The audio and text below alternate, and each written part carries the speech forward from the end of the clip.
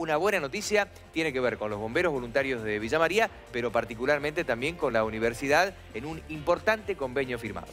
Hace años que venimos trabajando conjuntamente con, la universidad, prestándole eh, el, área de cobertura, ¿no? Entonces hemos eh, firmado un convenio que la universidad, en cambio de eso, eh, nos va a hacer todo el seguimiento de salud a los bomberos voluntarios, desde que ingresan hasta que se jubilan. Eh, ya todo lo que es todo lo que es medicina preventiva para el bombero, los estudios físicos, psíquicos y también hasta el nutricional. bueno, como es lo más importante y lo más valoroso que tenemos el, el, bombero voluntario, tenemos que cuidarlo. Y bueno, esa es la forma de, una forma de cuidarlo, llevándole un, todo un seguimiento de salud dentro de, su carrera como bombero, ¿no? ¿Esto ya se hace efectivo desde estos días o va, a haber que esperar un tiempo?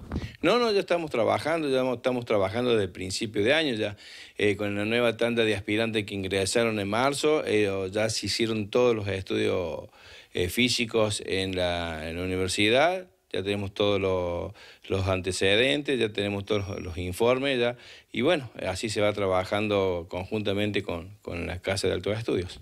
Importancia de tener garantizada esta, estos estudios ya con un convenio firmado. Sí, sí, ya con el convenio firmado, no solamente eh, en estudios, sino también lo llevan el plan de vacunación que tenemos que tener los bomberos, ellos lo van a avisar, bueno, ya se tienen que vacunar, quién se tiene que vacunar, eh, qué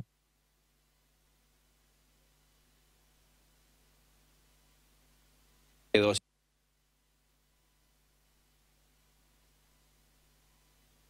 si tienen